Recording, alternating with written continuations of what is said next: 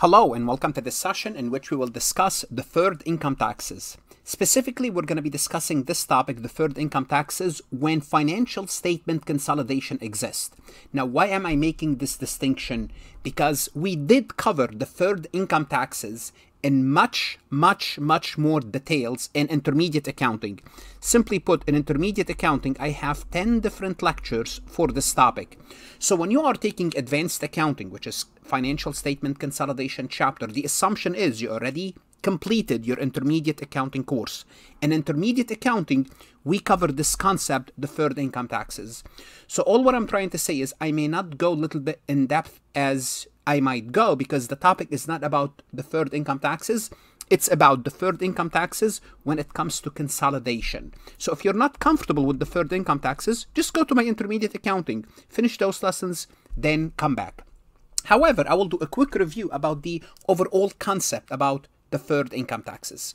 Why deferred income taxes arises? Well, simply put, we have two sets of books when it comes to companies, US companies. For tax purposes, they have to pay their taxes based on the IRS code.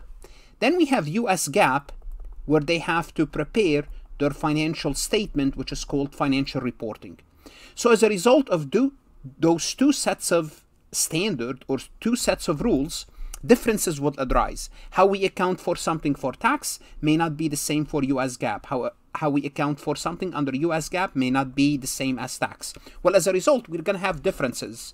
What are some examples of these differences? For example, the way we depreciate an asset under tax is totally, not totally, it's different than we than we do depreciation under US GAAP. So as a result, the book value of our fixed asset, property, plant, and equipment, for tax purposes will differ from the book value of the US GAAP based book value. Why? Because the depreciation amount is different. Revenue recognition, the way you recognize revenue under the Internal Revenue Code, we might have to use the percentage of completion, and under US GAAP, we might have to use the completed contract, or vice versa.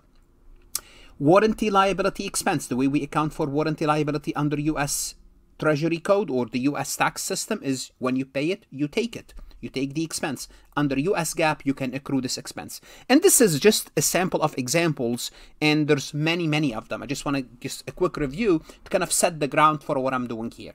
So difference result in either a taxable liability or deductible amount. So simply put, if you have a taxable, if, if that differences is going to result in more taxes in the future, you're going to have a liability. If that difference is going to result in more savings, more deductible, you're going to have a deferred tax asset. Again, this is the simplified version of it. Income tax deferral amount depend whether the consolidation reporting entity files a consolidated or a separate return. So when it comes to consolidation, it also makes a difference whether the parent company is including all the subs. So the parent company and the sub, they're all filing one tax return, and we talked about when would that happen and why, or or if the parent company and the sub, each one of them in other words, the subs are also filing their own separate income tax return.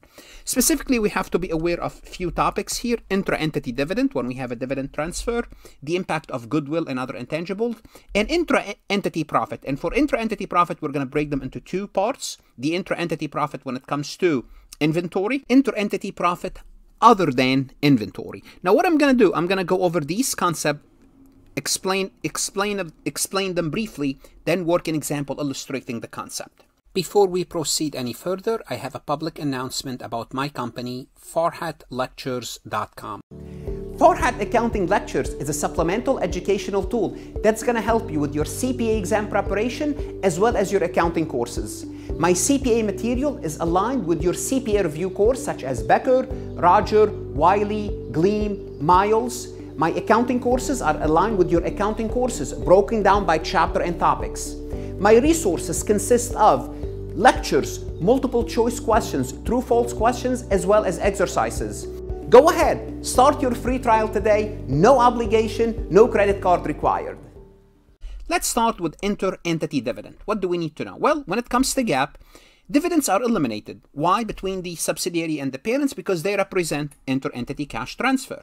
Well, they are simply eliminated. Under the tax law, that's the same concept as long as the parent owned more than 80% of the subsidiary. Under those circumstances, dividends are also removed. Why? Here you need to know a little bit of tax rule, and I'm assuming you already took your tax course.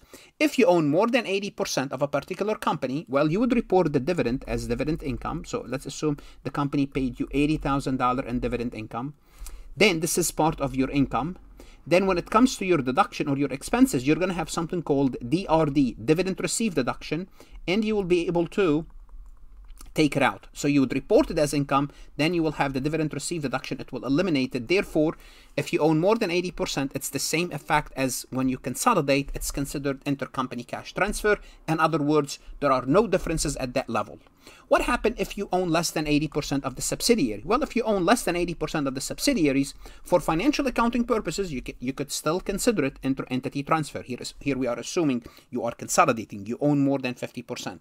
That's fine. For tax purposes, if you own less than 80%, then you cannot deduct the whole thing. 35% of it is taxable. So if you report $80,000 in dividend income, if this is the income, the only expense you can take now from this is 35% of this can be deducted. So 35% of this can be deducted.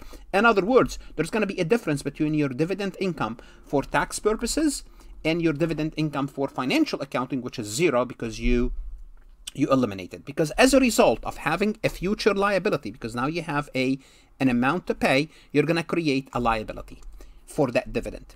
Also dividend declared but not yet paid. Well when you declare a dividend okay but you did not pay it yet well guess what? You have a tax liability in the future. Because once you clear a dividend the subsidiary is going to pay it. They have not paid it yet. Well regardless since they now you have a liability on the books and it's going to be paid into the future you're going to be paid you're going to be paid in the future then it's going to create a difference because you have a liability for tax you don't have a liability for financial accounting the amount will differ. Therefore it's going to create a tax payment in the future. As a result you have a deferred tax liability. Again when does this exist?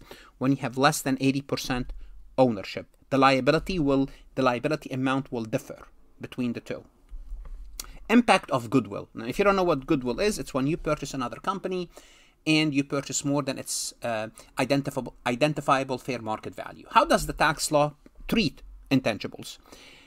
Intangibles of goodwill and other purchased asset referred to as section 197 are amortized over 15 years. So you will take the deduction over 15 years. When it comes to GAAP, what do you have to do with goodwill? You have to evaluate goodwill and if it's impaired, you write it off. So let's assume you purchase a goodwill or curated goodwill or you purchase an intangible asset and for the sake of illustration it's 15000 you're gonna divide it by 15 years and every year you'll take a thousand. That's for tax.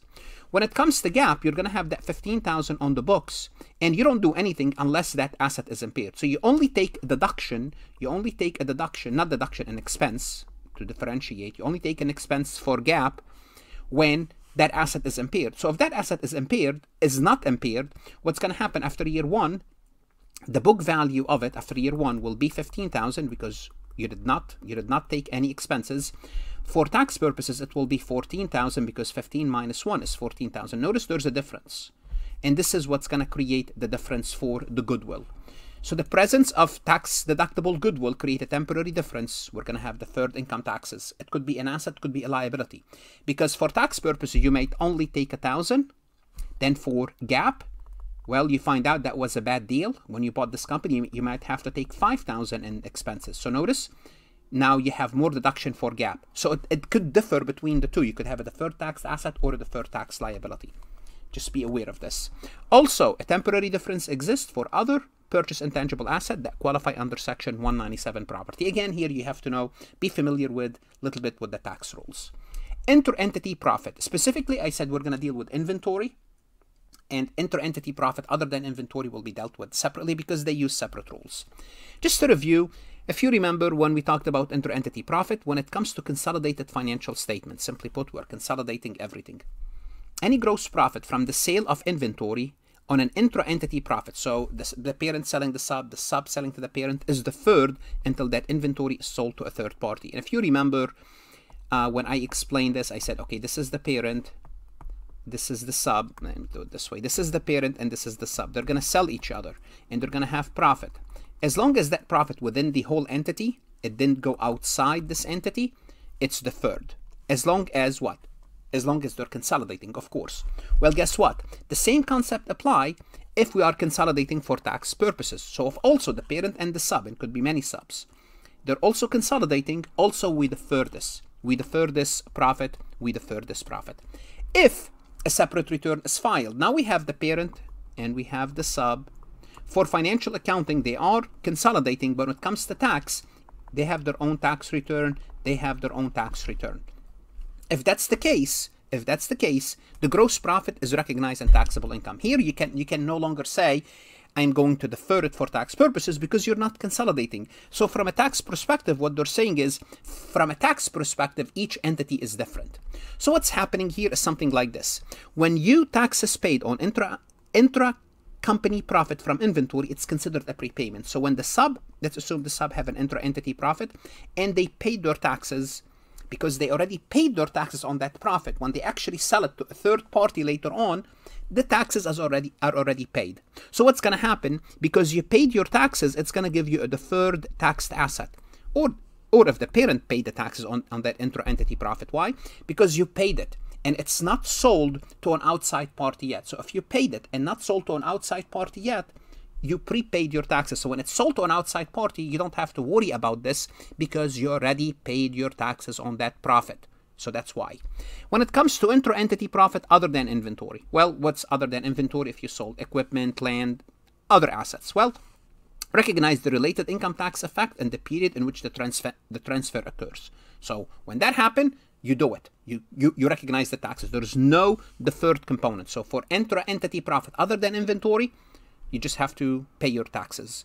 Now, as a result, let's assume you sold a piece of equipment or or land or a machinery. Now, usually, usually if you do that, you might, you know, let's assume you have a gain to or a loss. It doesn't matter. What's going to happen after the fact, there's going to be a difference between the book value and the tax basis. So you're going to have the difference between the book value of that asset and it's the book value for financial and the tax basis, which is the IRS. We're going to have a difference, and they're going to have a different de depreciation amount, and this is a separate story. We'll account for that differently. But the gain or the loss on the transaction itself is not deferred. It will create a deferred tax asset or deferred tax liability because the book value between the two will differ, but not. But we're not talking about this. We're talking about the depreciation. The depreciation amount might be different then we'll account for that separately. This is what we talk about when we discuss deferred income taxes and intermediate accounting.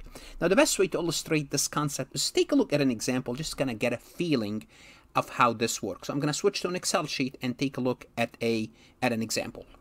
Okay, let's take a look at this example on January 1st, 20x0, Adam purchased 85% of Ryan outstanding shares. What does that tell us? If we have more than 50, we can consolidate for financial accounting purposes. If we have more than 85, now we can also consolidate for tax purposes if we choose. If we choose. Remember, if we don't, we don't have to. We're assuming Ryan is a domestic company. Domestic means it's a U.S. company uh, because we're assuming here home is the US. The tax rate is 21%. Now we're going to be giving the data for X0, the data for X1, and we're going to determine the tax expense and the tax payable for assuming they file a consolidated return or assuming they file a separate return. Let's take a look at the data that we are giving. Since we are giving two years, let's look at both years. Sales 600,000, operating expense 400,000, intercompany gross profit included with sales 120 so this is intercompany gross profit and it's included in sales.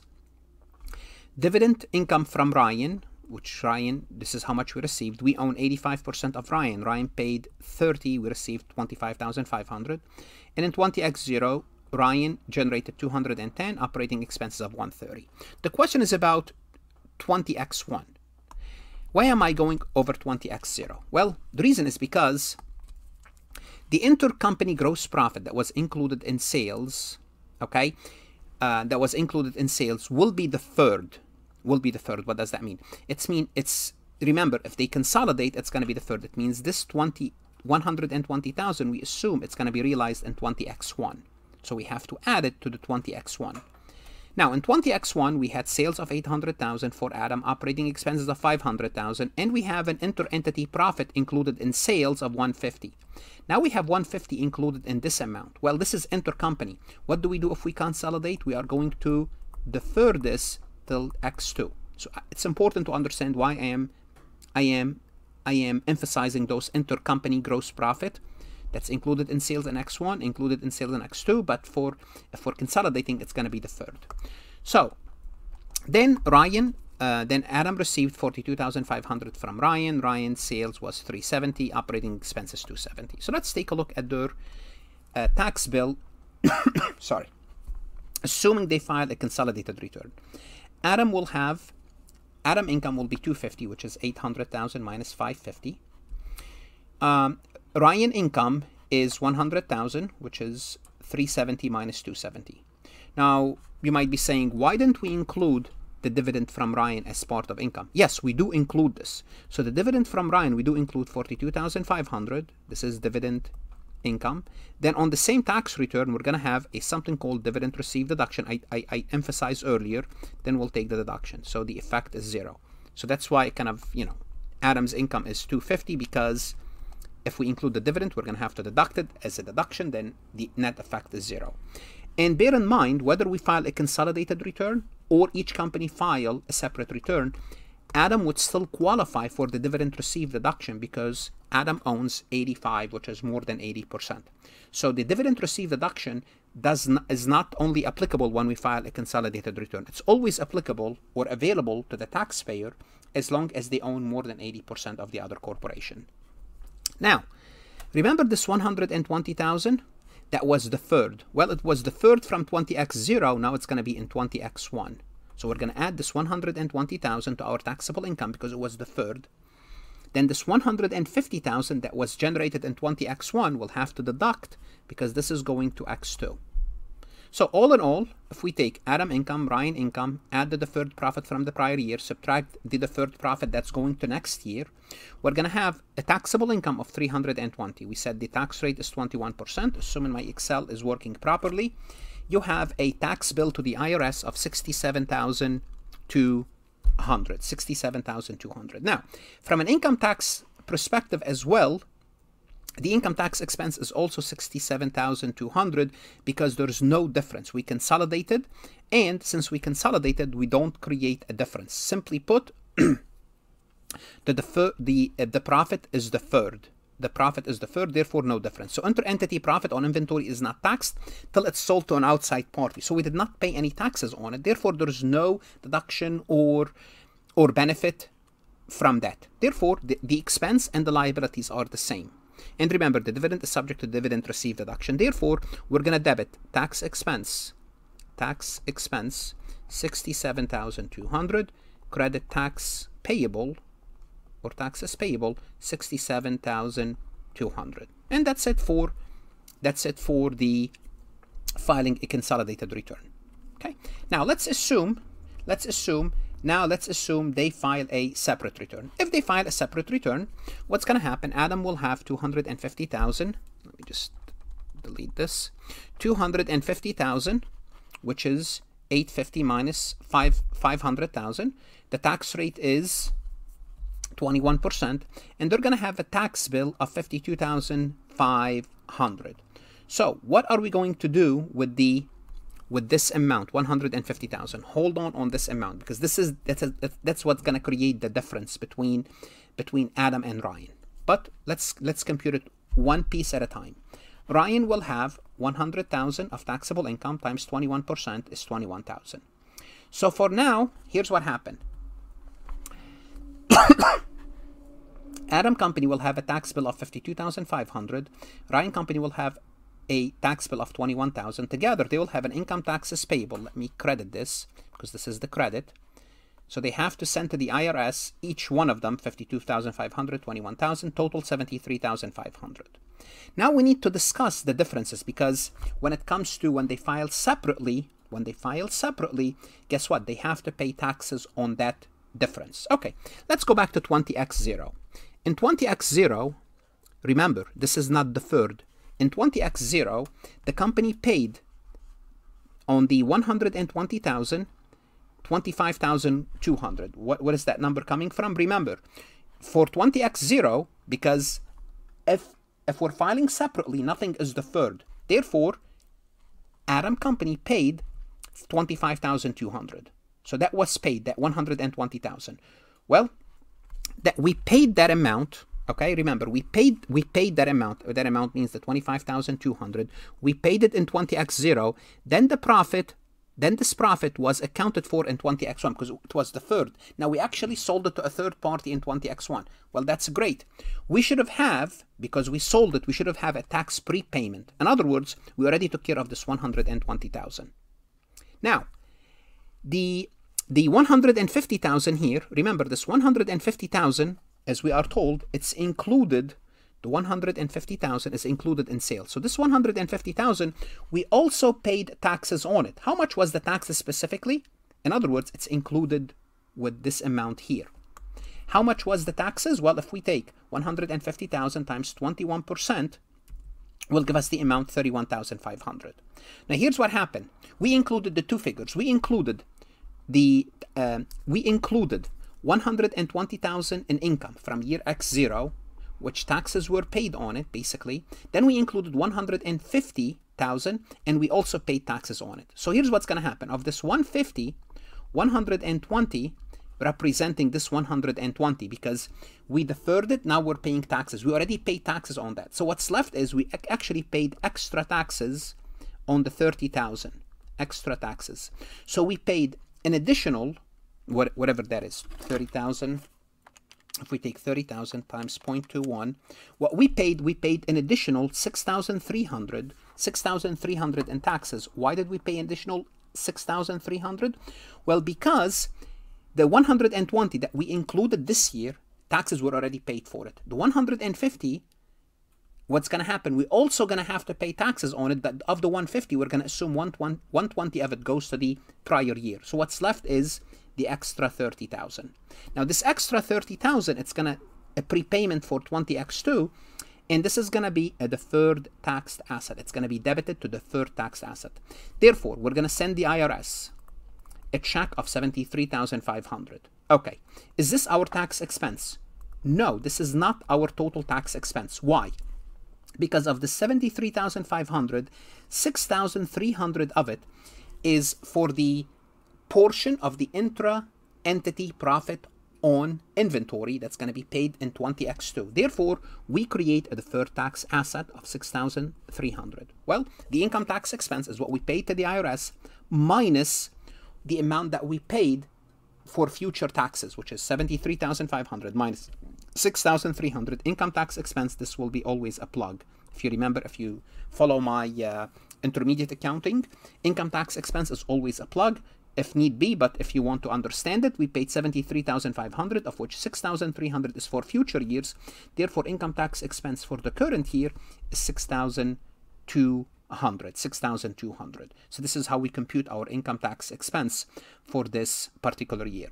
So this illustration um, shows you what happened if the company filed a consolidated return, if the company filed a separate return? Now, specifically, what are the benefit of filing a separate return? That's going to have to be discussed separately. Maybe in the next session, I will explain to you, you know, filing a separate return, why, why not, and maybe we'll look at another example. Again, advanced accounting is by its nature advanced accounting. It's difficult. so think about what we're doing here. It's advanced accounting. It is inter-entity profit, okay? And a lot of people find difficulty in advanced accounting. A lot of people find difficulties in inter-entity profit. And a lot of people find difficulties in in in what? In deferred taxes. So we're taking all these three concepts and combining them in this example. So if you are a little bit overwhelmed uh, i hate to use the word confused but it's okay. Even if you feel confused that's normal. So the point is to do what? Go back and learn about deferred income taxes Make sure you know understand this. Make sure you know how inter-entity profit works. Make sure you know this. Then come back here and put all three together. Yes, it's challenging. You can do it. I'm always here to help you. Whether you are studying for your CPA exam, advanced accounting, or whatever certification you are doing, accounting is worth it. Study hard, good luck, and stay safe.